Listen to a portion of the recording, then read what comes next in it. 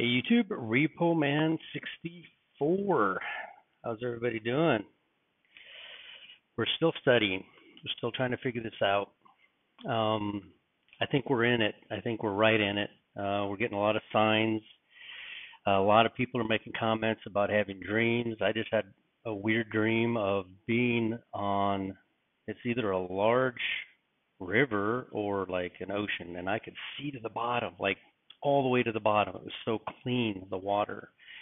And there was all kinds of like a turtle and all kinds of uh animals in there, uh, you know, fish and everything else, and they were so vivid in color. I I don't recall dreaming in that much color before, and uh, it was beautiful. It was absolutely beautiful. I wonder if it was my backyard in heaven. I'm not sure, but we can always hope. Hope is what uh, the things that God says that uh, the bride will do. The bride is watching.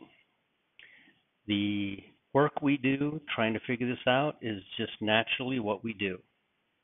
At the end of the video, I'm going to go through the three different Gospels um, Matthew, Mark, and Luke and show you the differences in the watchers and the warnings to each group um, to uh, separate them so you can see as you know, Sandy has made a website called endtime-studies.com, and in there you can find a lot of the watchers and their timelines and um, different stuff. It has nothing to do with me. She did this on her own, and she has uh, worked very hard fixing my dates. I was off doing my math and everything, but she's fixed them all, and and it's actually very enlightening what I found.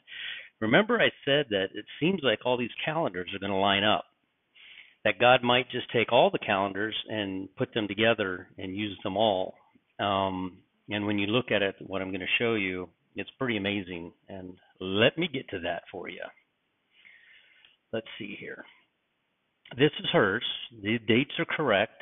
I've gone through mine and fixed my dates. Uh, she just she has a computer program and uh, I've showed you this before. It's pretty amazing. Um, but I can't circle her dates, so I have to go back to my uh, timeline. But I did fix my timeline uh, to Sandy's dates. She did a very good job on this. I really like this. She actually has a my other calendar in there of the entire year, and um, a couple of things. Uh, again, I take pictures during the week or since my last video of things that uh, interest me. Somebody came out with this. I don't recall who it was. Um, I watch a lot of videos, listen to a lot of videos while I'm working and stuff. And uh, somebody came up with this. Uh, it might have been Steve Fletcher. I'm not sure. But notice that it's exactly 888 months from May 14th, 1948 to May 14th, 2022. May 14th is, of course, Israel's 74th birthday. And remember the argument that um, Satan had with God over the bones of Moses, in that he argued he should be able to have those, and God instead, instead you know, told him stand back. Uh, no, you, you can't have them. And uh, to this day, I don't think we know where those bones are. God has hidden them uh, because Satan wanted them for some reason. But as far as legalities go, um, he did not have rights to those. And God adheres to a specific timeline on purpose. God does not, we think he's delayed, but he has not delayed. All these dates that we have found are stepping stones to the other side of the creek and, until we can see the shore. And just imagine you're stepping. You can see the next stone, but you can't see the stone after that because of the fog. You know the other side is coming, but you still have to take each stepping stone on the way across that creek to reach the other side. And that's what we're doing. The watchers will watch. We will attempt to figure this out at the end of the day. Um, Amos 3 7, God is going to warn each and every single one of us in his own way that this moment's about to happen. And each one of us will hear it in our own way. So I thought that was pretty cool. And I believe, I believe that God will, because he will not break his own rules, I believe he will wait until just after May 14th. It might be on May 14th. He might wait a few days after May 14th because of making certain that the time is fulfilled. Remember, he comes back in the fourth year and uh, to check the uh, well in the third year he comes to check to see if uh, it's producing any fruit no fruit's produced and he says why cumbereth the earth? And he says dig it up. He says let it go one more year to 74 years and i heard somebody say today i can't remember the the person's name in the bible that was 74 years old also so 74 is a very important number to god I pulled over this morning. and I saw this. I did not know what this was and um I pulled over with my wife and said, "This is it. We're going home now." I thought I said, "There's no point." We were on our way to work at 5:47 in the morning. I was a little late because I pulled over to take a picture of this. I thought it was a fish in the air, and I, I did not know. I think what I've heard is that this is the space shuttle taking off, which I find strange because it started over there to the right, and maybe for you it's in reverse. I'm not sure um, but it went from right to left, and it just it never went up. It just seemed to go to the side. I, I didn't understand. I th- I did not think that it was the shuttle. I thought this was it, and we were going. So I pulled over and took a picture of it. Told my wife, I said, I don't think we're going to work today. I think we're going home. But uh, it was the shuttle, uh, she said. So. All right, here's the timeline. That's the same timeline you saw before. Same exact times on it, only this is my handwritten one. And as you know, down here in the bottom left, the equilux is the last day of the year. We'll go up here to New Year's Day. This is New Year's Day for each of these calendars. The equilux is March 17th. The equinox is March 21st. The first sliver of the moon that appeared over Israel after the equinox was April the 3rd. And uh, sorry, May the 2nd was the first sliver of the moon after the sun reaches Aries. Now, these four calendars, mostly I've noticed the equilux, the first sliver of the moon after the equinox, and the first sliver of the moon after Aries are mostly being used uh, from what I can tell. Not many are using the equinox uh, timeline that I can see, um, unless it's something I haven't seen. So here we are, Jesus on the cross, right here. I've circled these dates because it's amazing how when you look at all these calendars, they are all lining up within three days. All of them. Remember, Jesus was in the tomb for three days, and uh, after three days, he busted that tomb wide open, like Watchman Adam says. I love how he says that. And uh, he, uh, he he he rose on May the 19th on the first sliver of the moon after Aries. We passed the other dates, so here we are. Nisan 14, which is for the first sliver of the moon after the sun reaches Aries, May 16th. This is when the eclipse is going to happen in Eastern in Israel on the 16th at 7:31 p.m. Their sunset happens on the 16th. On the 16th, let's see, they are ahead of us. So yes, it's the same thing. It'll still be the 16th for us. Did I do that wrong? That would be I did that wrong. I have to redo that math. Let's see. If it's 7:30, it'd be 7:31 p.m. Eastern Standard Time. But at 12:11 a.m. is the max eclipse. Maximum eclipse is at 12:11 a.m. And I had uh, I did I did my math wrong here, so we have 12 hours out. So if it's 12:11 a.m. maximum eclipse in Israel, they are ahead of us. It would be seven. Let's see, it'd be 5:31 p.m. Eastern Standard Time. So we go forward. And I want you to notice I've circled all the dates on the different calendars. This one, the first sliver of the moon after Aries, May 16th. This one, the first sliver of the moon after the equinox, May 17th. The, uh, the equilux, May 19th. That's when Jesus ascends. Back here, May 19th again, when Jesus rises. All the calendars come into play right around this time. So you could say that within that three day period, Jesus is on the cross. Jesus defeats death three days later. And then you got the first sliver of the moon after the equinox, the second Passover, and then here on the 19th you have Jesus ascending, and then Pentecost on May 22nd for the equinox. So it's just a lot of dates that fall in there. It's really cool how they are all kind of being used, and I think the Israel still two days early. I don't know how they did that since they're since they called the first sliver of the moon on April the third, yet they're using April the first as their first day. So May the 14th would fall two days earlier here on May the 16th would fall two days earlier. So it would be when Jesus rose as well. So it's it's amazing how they're using all that. Here is civil twilight in Israel, 7:22 p.m. We go back to here. Whoops. Go back to here. And in Israel it'll be 7:31 at sunset on the 16th. Um, I gotta fix that. That's let me think about that. So 12:31 a.m. for us is when this. Let me see something here. I should have done this a little bit better. This is in Jacksonville, 12:11 a.m. If it's 12:11 a.m. in Jacksonville, that makes it five because they are ahead of us. So that would make it in the morning. Yeah, so that is correct. So 7:31 a.m. That would be 7:31 a.m. Israel time. And notice that civil twilight is 12:11. I'm using two different calendars and I got confused. For Jerusalem, civil twilight will be 7:22 p.m. So if it's 12:11 a.m. for us, they're ahead of us and they would be at 7:31 or 7:32 yeah, 7:31 p.m.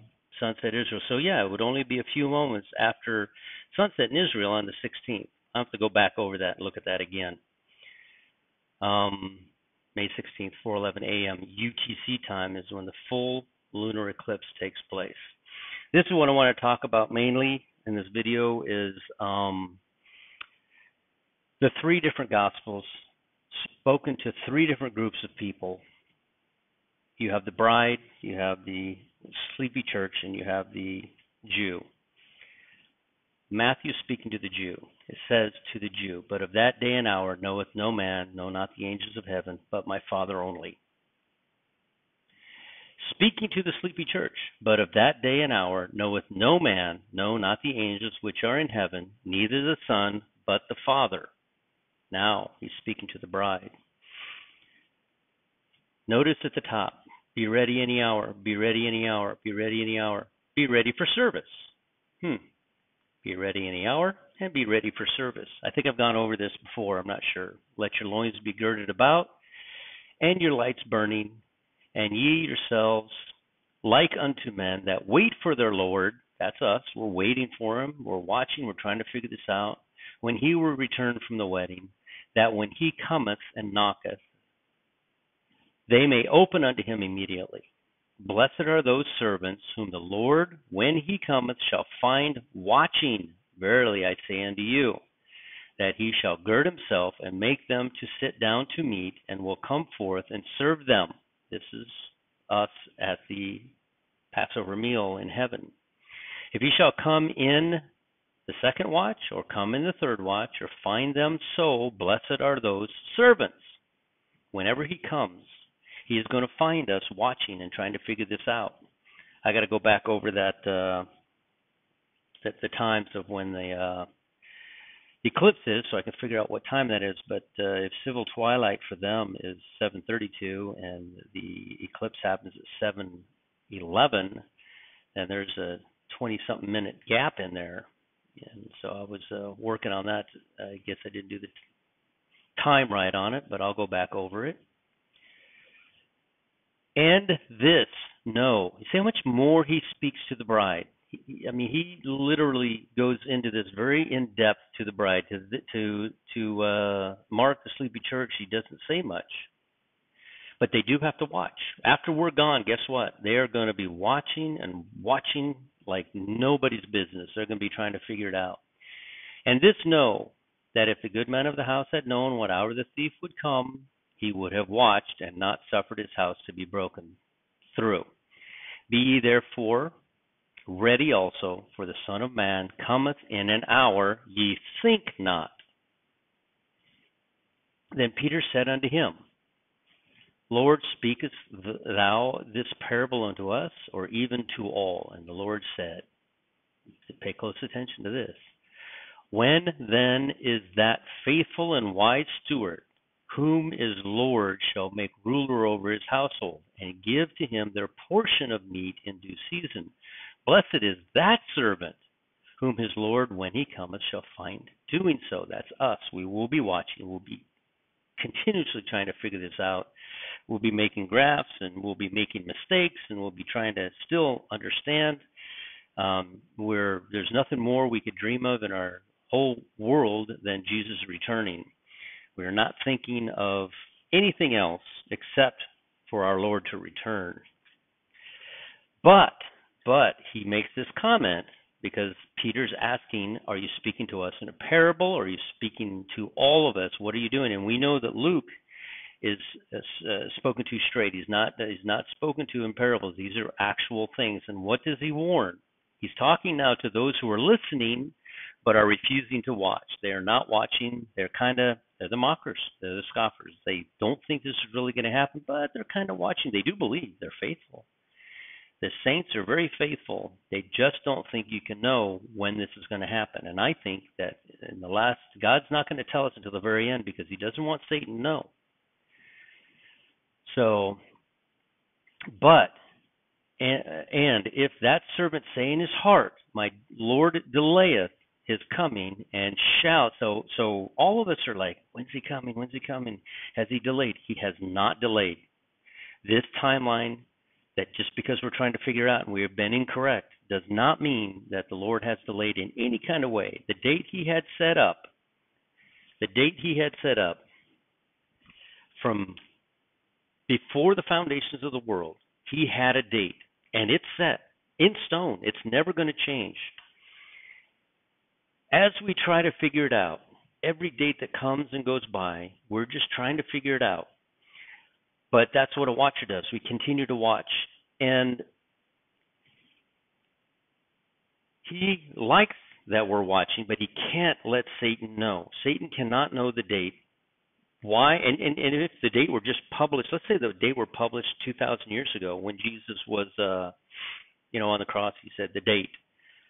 No one would have searched. No one would have just poured through the scripture, you know? I mean, we just pour through this and try to figure it out and highlight every part and try to understand what we're reading and and search and search and search and why do we do this while we do this we have become closer and more intimate with our creator this is jesus and the word became flesh and the flesh dwelt among us and we study and study and study and try to figure it out and that's an intimate relationship. It's not about the date. We want to know it. We want to we want to figure it out, but it's not about the date. It's about the journey that we take on the way to the date and how much we learned. And that's the most important part. It is it has become a very intimate, very close relationship as we go through this trying to figure it out. So the date has set. It's set in stone. It's never changed. And as we try to figure it out, and it's been like that for 2,000 years, there's been dates that have been set over the last 2,000 years. There's a book out. I don't remember the name of it. There is a book out that shows how people thought he was going to return after 100 years, and then 200 years, and every millennium that go, every uh, century that goes by, people thought this is it, this is it. No one in any other generation could have ever dreamed that the Jews would take back over Israel on May 14th of 1948. They could have never dreamed that. And then when it happened, things really lit up after that. And so we keep searching. So let me continue reading here. But, and if that servant say in his heart, My Lord delayeth his coming, and shall begin to beat his manservants and maidens, and to eat and drink and be drunken, See, he's describing a group of people that were watching, but they got angry. They gave up. They didn't keep watching. They got mad. They started beating their servants and getting drunk all the time. Why did they do that? Because they just don't believe he's coming back. They gave up. They were like seeds planted in rocks that sprung up but then withered away because there was no water for them. They did not spring up in good soil. So they watched for a minute and they gave up. The Lord of that servant will come in a day. Pay attention to this part. The Lord of that servant will come in a day when he looketh not for him, and at an hour when he is not aware, and will cut him in thunder, cut, cut him under, and will appoint him his portion with the unbelievers. Isn't that sad? Isn't that just the saddest thing? You spent all this time trying to figure it out. You watched all the, the videos, you sat down and read, and you worked so hard to try to figure it out. And the saddest part is you stopped, you gave up, you started getting drunk and giving up, you started falling back into the world. And why? Why would you do that? You worked that diligently trying to figure it out. And that's how you can tell who a bride is and who a saint is. Not giving up on the people. They're they're going to be saved. They have the Holy Spirit, but they are not invested in this. They're, it's not an intimate relationship. Ten virgins, five had oil, five did not. Five went to buy oil. They had to work for their salvation. They had to go get oil. The other five already had oil. When they came back knocking, hey, let us in, he said, Depart from me, for I know you not. Know is an intimate word. Know to when the Bible talks about he went into the tent with her and he knew her. That was an intimate thing. It's not intimate with the people who are not watching. They're going to be saved though. Don't don't give up on them. The tribulation saints is very important to God and they will be saved. But they gave up and how sad is it that you would spend an amount of time watching and then just give up on watching. So, and that servant which knew his Lord's will, knew, there's that word, intimate, and prepared not himself, neither did according to his will, shall be beaten with many stripes. These, they, they knew it. I guess that word wouldn't be intimate because they knew it, but they were beaten with many stripes, so they're going to go through tribulation. But he that knew not and did commit things worthy of stripes shall be beaten with few stripes. For whosoever so so these people that don't even know, they're not even intimate enough to know that there's a timeline, and there's people all over the world that are not uh, involved with. They'll be beaten, but not as much as those who knew. They knew, but they just they just couldn't believe it. Believe they said, "My Lord delayeth his coming, and shall begin to beat his men servants and maidens." He says in his heart, "My Lord delayeth." So we cannot go down that path. We do not go down that path. We will keep our hearts pure, and we know he's coming. Just like when I saw that you know, when I heard the trumpet blast while I was making a video a couple of videos ago, and I started to go outside because that's where my heart is. And the same thing when I saw that fish in the sky, I thought, I told my wife, this is it, we're going. And then I realized it was a shuttle. But it doesn't matter because we're watching, and our hearts leap out of our chest when we think that this is it, this is it, and that's that's what we're looking forward to. Who uh, for who uh, for unto who whomsoever such is given of him shall much be required, and to whom men have committed much of him they will ask more. So remember, some of us have been given so much, and then at the very end we kind of kind of walk away from it and don't. I mean, seriously, don't. This is up to you. This is this is this is all you, and uh, you know you keep watching, you keep praying, you keep going to the quiet place by yourself and uh you know all new christians i would i would suggest that you go pray and start watching the videos don't watch mine watch uh, other people's they got better math than i do you know just uh just keep watching and keep waiting um every little noise, every little every dream, uh, numbers pop up that surprise me. Um, the space shuttle thought that was a fish in the sky. I thought that was it. Thought Jesus was coming for us. You know, every everything that we that makes us jump, you know, is just evidence of what we are. And so many of you, I've talked to so many of you that I heard a I heard a trumpet blast or I saw this number and I thought this was it. And people send me so many uh, different calendars and different dates, and that's absolutely perfect. Absolutely perfect. There's a there's a, a calendar that's looking at actually I think tomorrow even uh, because uh, they're calling the fifth of Iyar on the seventh, I believe.